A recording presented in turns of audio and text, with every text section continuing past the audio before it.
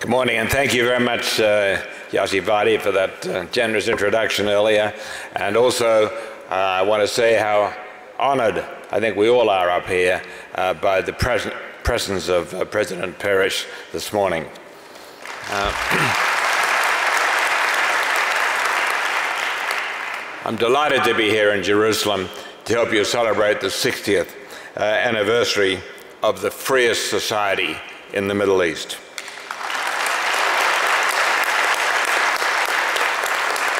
I'm confident about your future because I believed that the future belongs to freedom.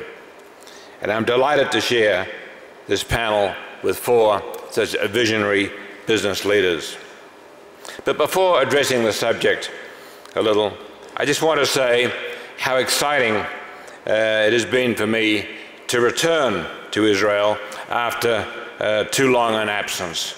Uh, since landing only two and a half days ago, uh, I've walked the streets of Tel Aviv and Jerusalem.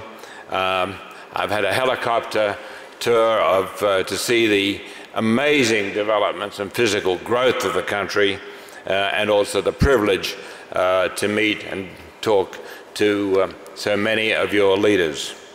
Uh, and one cannot help but be moved by the sheer passion uh, of the whole country. Now, our topic today is the revolution of the internet and the effect this revolution is having on media and society. Every day we read about the effects in our business pages. That's because technology is destroying obsolete business models based on the one-size-fits-all approach of their customers. Today, the choices in the future are going to be generated from the bottom up, not the top down. For example, a 13-year-old girl in Tel Aviv is not going to want the same news and entertainment as a 50-year-old executive in Chicago and they're probably going to want it delivered in different ways as well. Our challenge is to personalize the experience uh, for both these people, indeed for everybody.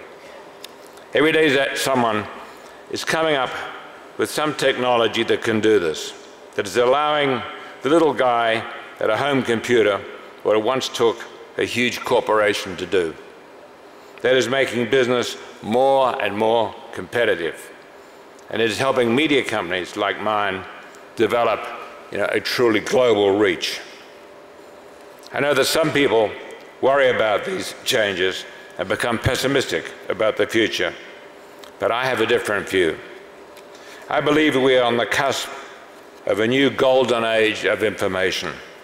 I believe that this golden age will make the, the human element more important than ever before.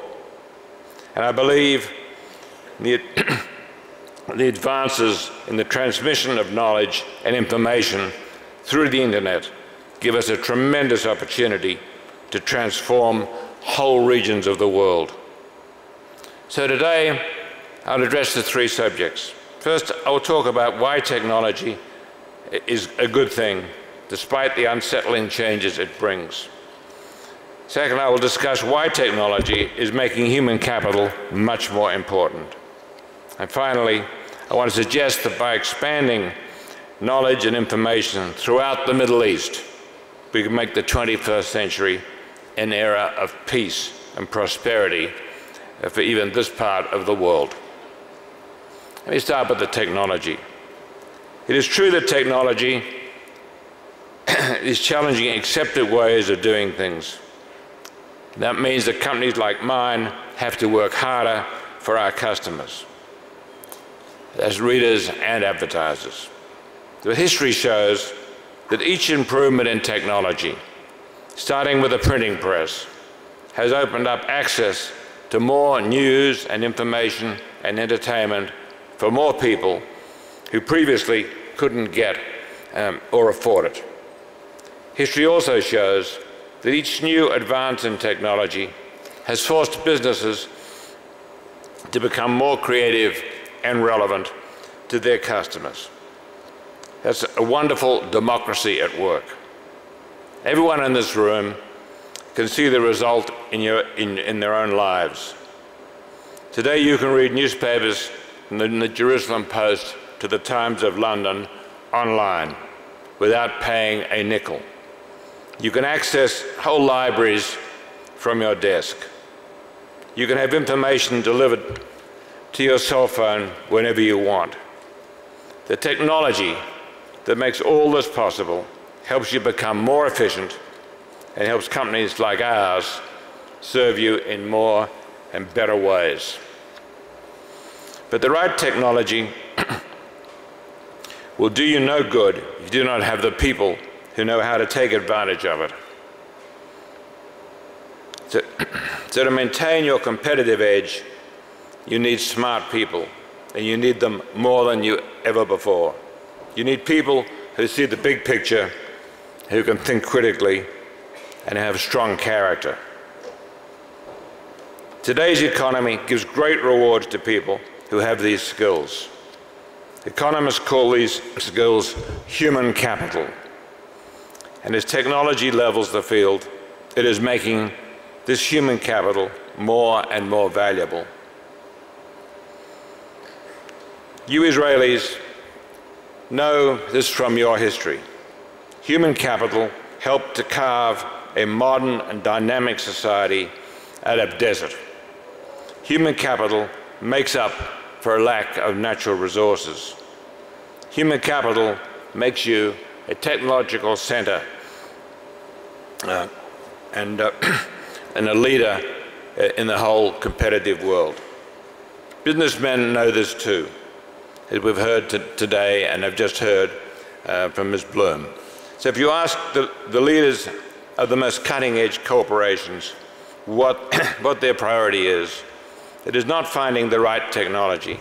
It's attracting and retaining people who will know how to create or use that technology. Let me give you an example that is close to home. One of our companies, of which we're most proud, is called News Data Systems. It was started up in 1988 by four people in a Jerusalem apartment. Today, NDS Israel employs more than 3,950 people worldwide.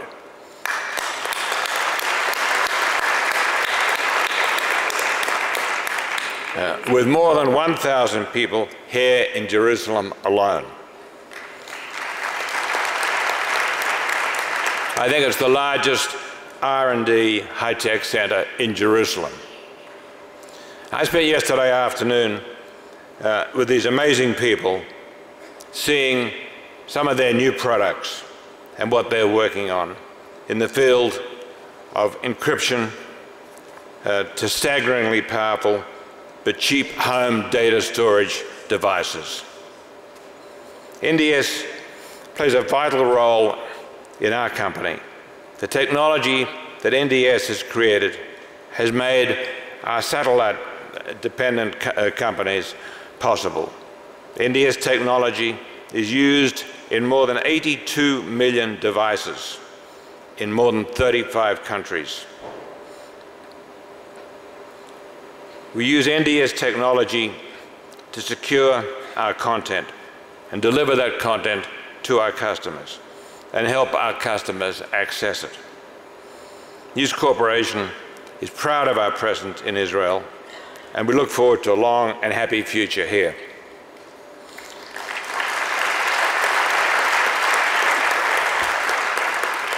Yet as we look to the future, we need to be more ambitious about the opportunities before us. We will continue to do what we can to help Israel maintain its competitive edge. Yet we must also look for new ways to expand human capital throughout the Middle East.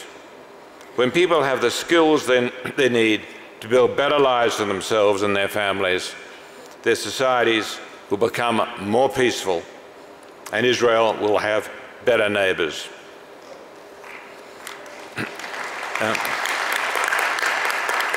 building lives of hope and prosperity and peace begins with expanding knowledge. There are tens of millions of talented and hardworking individuals across the Middle East. Many live in countries rich with oil, but they lack the education and know-how necessary to take advantage of the opportunities of this new century. So they remain on the fringes of the global economy. We can change that. For the first time in, in history, the, international, the, the uh, internet-related technology has given us the means to disseminate knowledge and information cheaply and efficiently. By disseminating this knowledge, I don't mean spreading propaganda. I mean helping ordinary people access the knowledge that they can use to improve their condition and move up in society and keep their nations competitive. The best way to do this is by improving education. That is one reason that I've agreed to serve on a task force of Israeli and American business leaders. This task force, which I'm uh, proud to announce this morning, will study the viability of a new, uh, under the leadership, I might say, of President Peres, will study the viability of a new private high school designed to cultivate a new generation of Israeli leaders.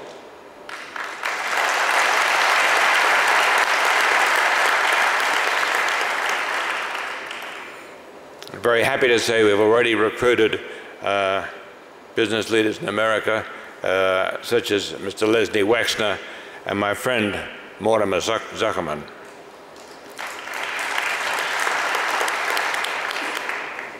If we do our jobs properly, such a high school will be a model for the whole Israeli education system and will help guarantee a brighter future for all its citizens. The task force is due to report back uh, with its first report in three months. At the same time, I believe we need to do more to bring these same opportunities to all those across the Middle East. Recently, the World Bank issued a report saying that while the countries of the region have made progress in recent years, their education systems are just not keeping up with the demands of the 21st century. Most of these countries also have very young populations. And, and, unless they get the skills and education they need to advance, they'll be more susceptible to those preaching violence as the answer. So we need to refashion and reform our foreign aid programs to focus on literacy and education. And the private sector can help by showing what works and what does not. All around us, we can see how a focus on skills and education has helped Israel to prosper and maintain its freedoms. To keep Israel's future free, we need to help people across the region achieve the same results for their countries. The miracle of the internet has given us the technology. We know what works in education, and we know the, the human talent that is just waiting to be tapped. By giving people across the Middle East the education they need to succeed, we will provide an alternative to violence, and we will help millions build a more hopeful future and we will usher in what Israel has not yet known in its 60 years the security that comes from having neighbors who are free and prosperous and peaceful. Thank you very much.